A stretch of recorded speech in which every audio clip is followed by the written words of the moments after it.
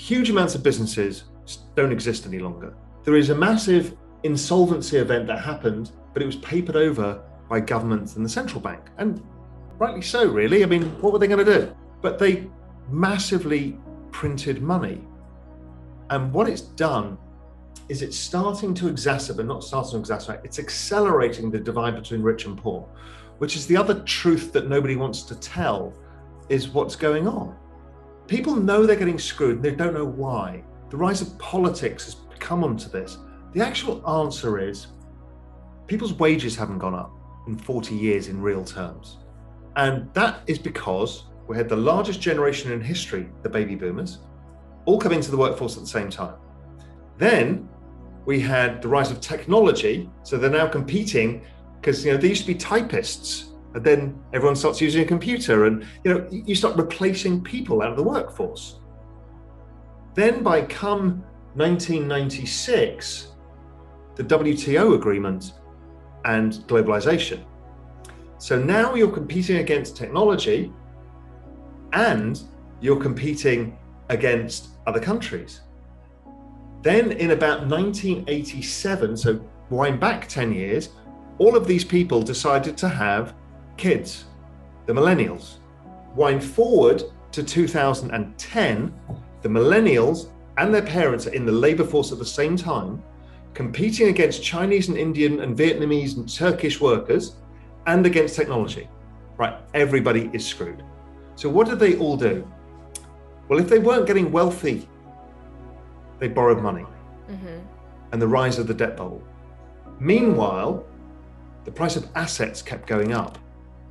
So it meant that as a a 32 year old baby boomer back in 1980, we could afford to buy a lot, a big house pretty quickly. They could buy a reasonable amount of the stock market. Don't forget the PE ratio was 7 mm-hmm. Bond yields were 16%. So they they, they, they couldn't help but make money.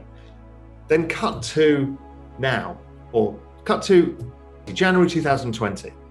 The 32 year old millennial has the most expensive house prices in history, the most expensive stock market in history, the most expensive bond market in history, faced with no opportunity and debt, coming out of university with debt.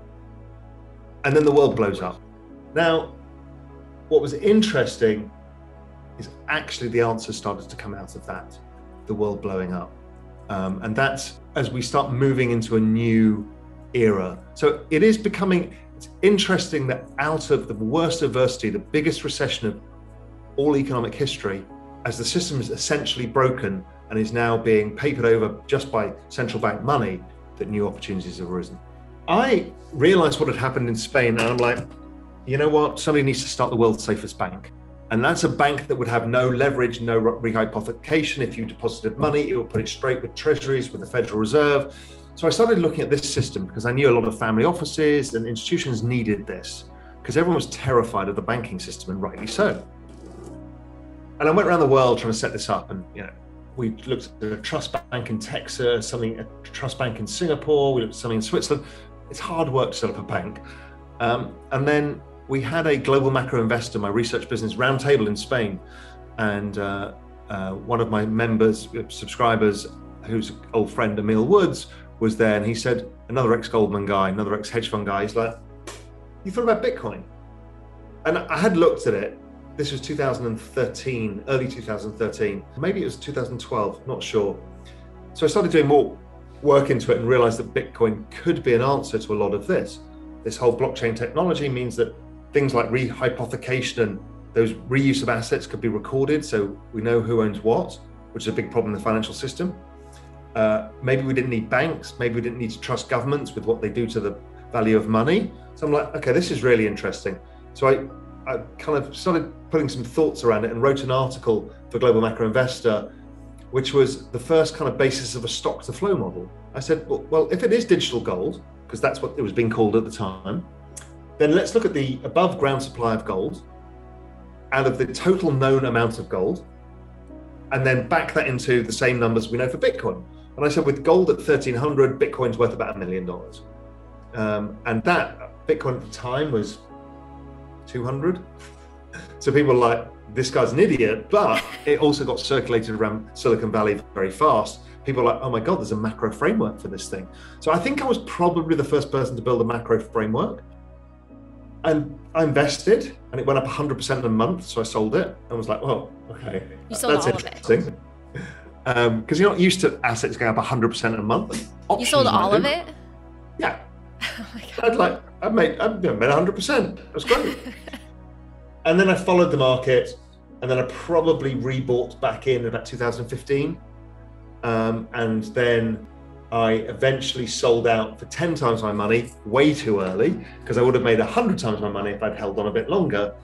Um, because I got very confused about what was going on with the forks when people were trying to take create different versions of Bitcoin. I'm like, I don't understand this. And at the time, nobody did. Nobody knew whether it was going to survive or not. And I'm like, well, I don't really understand. So I will take my money off the table. Um, and I was happy with that. And then Bitcoin shot up. And then um, I sp- spoke at the um, the big consensus. I think it was the consensus event or the CoinDesk event, whatever. It was the biggest crypto event. And I got up on stage in mid December, and I had to give the Bitcoin bear speech, even though I'd been a bull. And I, I, think I nailed the top within two days at that event, even though I'd sold out my Bitcoin a lot earlier than that people were like angry with me on stage. Like, this is stupid. It's ridiculous. And then, you know, Bitcoin then suffered a tremendous bear market. And then I bought in again in 2019. So if you go back to this narrative that I've been telling you, the global financial system is broken. People are not able to participate. The only answer the central banks have for this mess, oh, so everybody takes on more debt. The only way the, the central banks have to try and keep this ship going and not sinking is printing more money, which is making the situation worse. And we're trapped in this endless loop. And it was very clear to me that the next recession, there's these two paths of the macro world and the crypto world, call it one new financial universe, and the old financial universe are going to meet at the horizon point, which is the recession. That was absolutely clear, and I made it clear through the whole history of Real Vision from 2014 that this is going to happen. So then the moment happens when it's a pandemic as well. So, like, this is the worst case, right? This is going to cost everybody gazillions. And Bitcoin collapsed as everything collapsed. And I'm like, this is the opportunity because the only outcome is gigantic printing of money. And that is the, and Bitcoin with its scarce supply and its answer for the future financial system, this is its time. So I went all in and I shouted from the rooftops in as many places as I could to say, this is your opportunity. Here's your life raft to get out of this mess. Um, and uh, luckily, it proved to be the right thing. And now, really, what is happening is a parallel financial system that's even more than a financial system, it's the new digital architecture of the world is being built. There's a new promised land, and people are migrating across at unbelievable speed. My all my old clients and friends from the macro world are now living in this new world Virtually none of them are left in macro because the returns are so big, the opportunities, the ability to be optimistic and not pessimistic, while keeping one eye on the kind of burning city of the old, which is the old financial system, but going into this new beautiful world. It's discovering of it of the Americas all over again. And it sounds hyperbolic, but it's not. I think it's going to be the largest redistribution of wealth in all recorded history in the shortest period of time.